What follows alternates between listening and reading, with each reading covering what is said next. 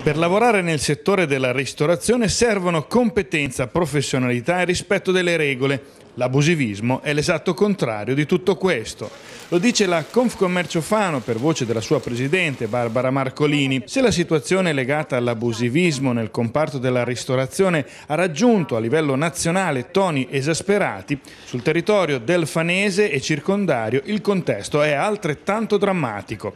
È assolutamente evidente, sottolinea Marcolini, come questo fenomeno esploda in maniera esponenziale, soprattutto nel periodo estivo, dove si assiste al proliferare di cene tra amici, in case private o in attività economiche in cui non è autorizzata la somministrazione, realizzate da chi svolge ormai questa attività in modo continuativo, in forma di vero e proprio lavoro, ma in maniera del tutto abusiva. Logicamente è tutta clientela che in maniera sistematica viene a mancare poi al ristoratore perché non parliamo più di una cena fatta ogni tanto ma si parla di un lavoro sistematico che viene fatto soprattutto nei weekend dove poi il ristoratore potrebbe lavorare molto bene, ricordiamoci che a maggio poi è stato anche eh, piovoso, no? quest'anno soprattutto. E logicamente quindi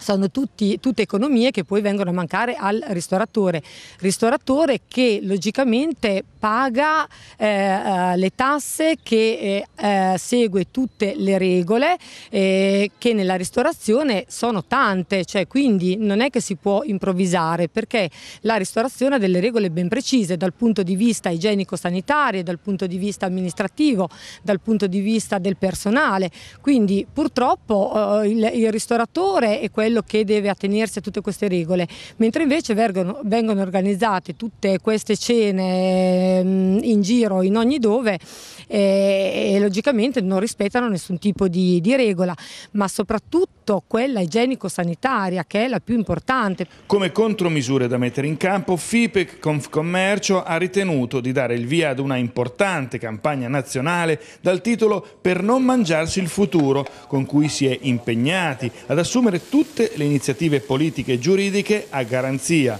del buon funzionamento del mercato, a tutela della salute e della sicurezza dei consumatori. La ristorazione purtroppo non è che si può inventare, ci vuole professionalità, ci vuole competenza e, e ci vuole un rispetto proprio delle regole.